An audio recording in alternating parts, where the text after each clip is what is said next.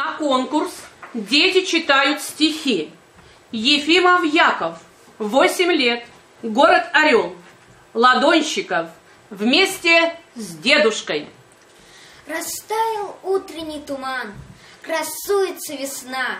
Сегодня дедушка Иван начистил ордена. Мы вместе в парк идем встречать солдат, седых, как он. Они там будут вспоминать свой храбрый батальон. Там по душам поговорят о всех делах страны, о ранах, что еще болят с далеких дней войны.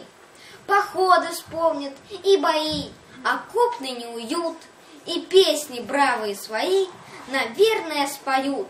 Споют о мужестве друзей, что в землю полегли.